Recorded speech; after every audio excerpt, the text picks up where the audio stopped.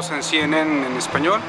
Eh, asistimos a una plática con el licenciado Enrique Peña Nieto, eh, en el cual expuso sus ideas en función de las preguntas que le realizó el público. Y vamos a empezar con Abraham Manuel Sánchez. A los jóvenes que no tenemos este, el chance de ir a la universidad por problemas económicos, ¿qué nos ofrece usted? Creo que en el tema educativo son dos los grandes retos que México tiene. Uno es la cobertura, que efectivamente no alcanza a todos los jóvenes del país. Un reto y un compromiso que estoy haciendo es justamente para darle mayor cobertura a la educación en el país. Y ampliar también la universidad, que hoy tiene una mínima cobertura, porque el otro gran reto tiene que ver con la calidad de la educación.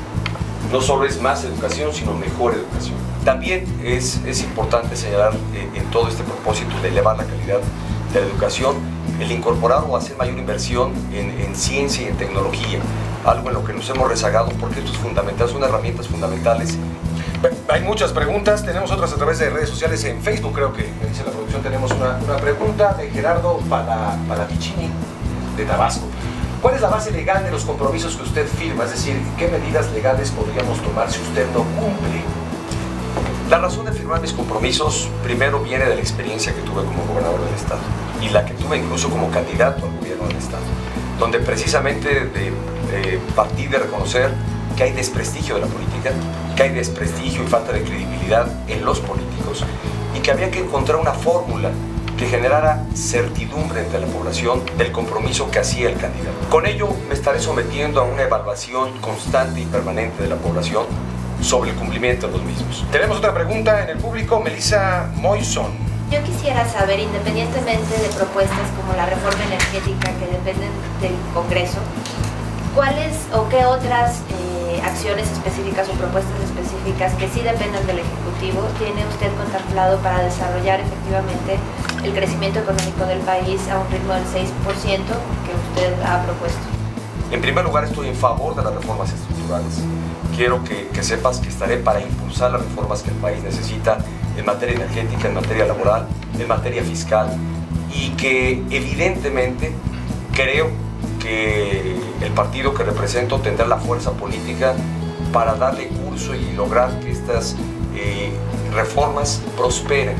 Pero también hay que decirlo, no todo depende de ello, depende de la eficacia que tenga la gestión del gobierno y para ello es necesario primero tener objetivos claramente señalados. Tenemos más preguntas de la audiencia que nos acompaña. Aníbal, eh, Aníbal Miranda está por aquí, sí. otro joven. Eh, bueno, mi pregunta es básicamente en la seguridad y la inseguridad. Eh, ¿Cómo usted tiene pensado combatir el crimen organizado que pues afecta ya gran parte del, del país? Mira Aníbal, yo creo que primero hay que reconocer cuáles son las causas del crimen más que solo atender las consecuencias justamente eh, que propician este clima de inseguridad. Y entre las causas sin duda está el que México no esté creciendo económicamente, está el que no pueda, hayamos combatido de manera eficaz la condición de pobreza que vive el país. Y eso sin duda es un terreno fértil para que lamentablemente crezca la inseguridad.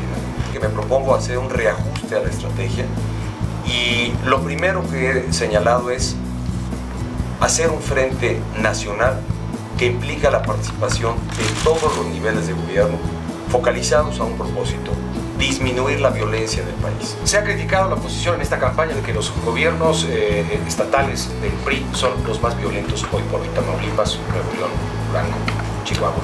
Señalo más ante ese argumento que justamente parte de lo que me parece ha sido un error en la política que el gobierno ha seguido en materia de seguridad, que es la partidización de la, de la política. El no ver el tema como una, eh, un asunto que debe resolver el Estado mexicano en su conjunto. No tiene que ver con quién los gobierna, sino más bien responden a su ubicación geográfica. Pareciera que la estrategia fuera que cada quien se rasque con sus propias uñas. ¿Qué hacer como, como gobierno, periodista no periodista, para realmente garantizar la labor periodística, para que sea una labor eh, cotidiana, confiable. Mira, para el, para el periodista y para la población en general me parece que hay que lograr mayor eficacia en las condiciones de seguridad que el Estado está obligado a darle a toda la población. Y el tema de, eh, de quienes se dedican a la actividad periodística, está muy claro que eh, la preocupación del Estado debe ser tal que ahora el orden federal, y ha sido así aprobado por el Congreso de la Unión y que me parece que en la medida que el Estado mexicano genere mejores condiciones para todo México, la actividad periodística tendrá también mejores espacios de mucho más seguros para la actividad profesional que realiza. Vamos a pasar a las redes sociales. Eh, Nelson Rebolledo de Puebla. ¿Por qué deberíamos confiar en su proyecto cuando en el Estado de México no fue capaz de esclarecer, por ejemplo, el caso Polet, colmado de inconsistencias? Mira, yo afirmo todo lo contrario, creo que es un tema que tuvo la atención de muchos mexicanos y si bien la Procuraduría de Justicia del Estado en su momento reconoció el error que había tenido al no eh, llevar eh, a cabo una, diligencia que evidentemente hubiese dado con el paradero de, de, de este error tampoco alteró el resultado y que incluso fue más allá la Procuraduría. Pidió la participación de la Procuraduría General de la República para realmente eh, hacer toda la labor pericial que dejara muy en claro que la investigación realizada y al haber dado con el paradero de Polet se había seguido de manera muy puntual y en estricto apego a derecho. Bueno, eh, vamos a dar paso ahora a un report que nos mandan vía internet. Vamos a ver desde dónde y quién lo manda. Lo tenemos listo. Martínez, mi pregunta es para Enrique Peña Nieto. Usted ya ha hecho toda una serie de compromisos que piensa cumplir una vez que llegue a la presidencia. Es lógico pensar que para lograrlo también ha reflexionado sobre a quiénes delegaría todos esos proyectos para garantizar su cumplimiento. Mi pregunta es, mencione usted por favor cuáles serían las personas que a su punto particular de vista serían ideales para encabezar la Secretaría de Seguridad, Educación, Energía y cuáles son las características que estas personas deben poseer. Giovanna, Giovanna, Seguridad, Educación y Energía. Giovanna, muchas gracias por la pregunta. Mira, no he resuelto quiénes me van a acompañar en estas responsabilidades. Hoy me ocupa realmente, primero, en definir la estrategia que me permita ganar la confianza mayoritaria de la sociedad mexicana para ganar la elección del 1 de julio. Y a partir de ahí está muy claro que es tu servidor quien asume la responsabilidad de realmente cumplir a los mexicanos. Y que evidentemente en esa responsabilidad está el definir quiénes me acompañan en el equipo, que me den garantía a mí o la confianza de que van a cumplir a cabalidad con la responsabilidad que les he asignado. Tenemos más eh, preguntas del público. Adriana Sánchez. Hola, buenas noches. Eh, mi nombre es Adriana. Eh, mi pregunta es la siguiente. ¿Qué le puedes decir a alguien como yo, que yo estoy seguro que represento a, muchas, a mucha gente allá afuera, que dudamos, realmente dudamos de esa capacidad que dicen que tienen como nuevo PRI y de la forma que van a gobernar al país? ¿Qué me puedes decir tú a mí para convencerme de yo votar las próximas elecciones por ti? ¿Qué pasa en el PRI? Yo creo que mi partido eh, lamentablemente ha sido más señalado por los errores del, del, pasado que por los logros y aciertos que hay. Hoy creo que mi partido entiende muy bien el cambio político que México ha experimentado.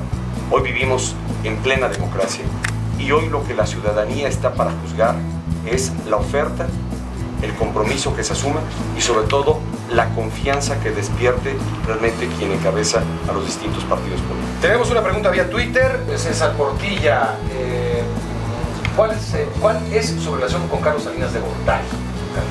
Mira, con el expresidente de México, como no, con otros expresidentes de México, tengo una relación de respeto, cordial y no diría más. No hay más relación que esa.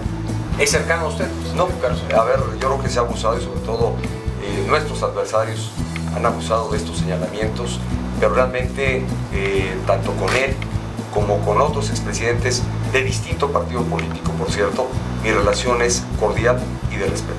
Estamos en la recta final de Foro CNN. Vamos con una pregunta a través del Facebook de Francisco Fontano, me parece. Ahí está, uno de los partidos que lo postula. El Verde propone la pena de muerte como método de impartición de justicia. ¿Cuál es su posición al respecto? Mira, yo creo que la, la justicia tiene que lograr mayor eficacia para realmente aplicar la ley. En el tema particular de la, de la pena de muerte, personalmente no estoy en favor de la misma porque me parece que no logra el objetivo realmente de aplicar la justicia y sobre todo de hacer respetar el derecho entre la población. Me parece que hay otros métodos que, deben, que permitirán mayor eficacia. Primero, un marco jurídico, una ley que hiciera posible que los jueces, a quienes corresponde dictar justicia lo hicieran de forma pronta y expedita. Hoy lo que tenemos que combatir primero es la impunidad y lograr la aplicación irrestricta de la ley entre quienes la infringen. Muy rápidamente, ¿no es una contradicción con las plataformas del Partido Verde? No, ¿Estás de acuerdo? No, a ver, creo que hay una gran coincidencia en la plataforma que viene postulando el Partido Verde y el partido que represento. Hay puntos de coincidencia, hay evidente temas en la agenda que no fueron eh, abordados en esta alianza que se ha construido. La alianza se construye sobre una plataforma afín. Creo que nos queda un minuto. Tenemos una pregunta, por favor. que sea del narcotráfico. Del narcotráfico. La refiero de... Exactamente. Quería saber, de acuerdo a lo que el presidente de Guatemala recientemente dijo en el Foro Económico Mundial sobre la necesidad de replantearse el tema del narcotráfico y la posible legalización de las drogas, y por otro lado el tema del tráfico de armas y la relación con Estados Unidos. Yo personalmente no estoy convencido del beneficio que tendría la legalización de las drogas. Sin embargo, estoy abierto al debate que deba abrirse, porque es claro que esta lucha emprendida hace más de 50 años y declarada contra el narcotráfico en el mundo entero, a la postre tiene ese balance que tienes mayor consumo y mayor producción de drogas. Y por eso eh, la posición que algunos jefes de Estado de América Latina han fijado frente a este tema. Sin embargo, me parece que también sería un riesgo y por eso estoy abierto al debate, la legalización de supuestas drogas blandas sea la incursión o la vía de acceso para el consumo de drogas mucho más dañinas para la población y que esto tuviera mayores costos sociales. Enrique Peñanito, candidato del PRI Partido Verde, gracias por estar con nosotros, de verdad. Gracias. Gracias de verdad también a todos ustedes por habernos acompañado. Es una persona muy eh, capaz, todo lo tiene muy claro, eh, su, su, forma de expresión es muy rápida. Su presencia sí a mí al menos me impuso, me da confianza. Todos los aspectos que inclusive fuera de cámaras preguntamos también nos los llegó a responder. Y las contestaciones a las preguntas precisas, precisas y a la vez ampliando el mismo tema.